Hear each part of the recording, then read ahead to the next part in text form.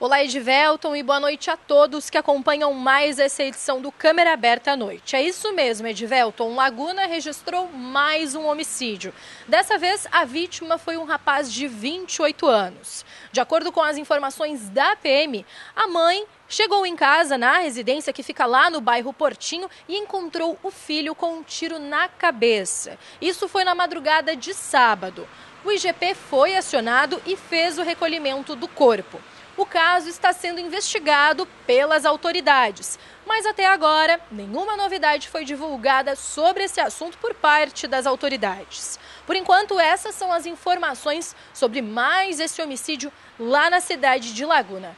Manuela Veiga para o Câmera Aberta à Noite.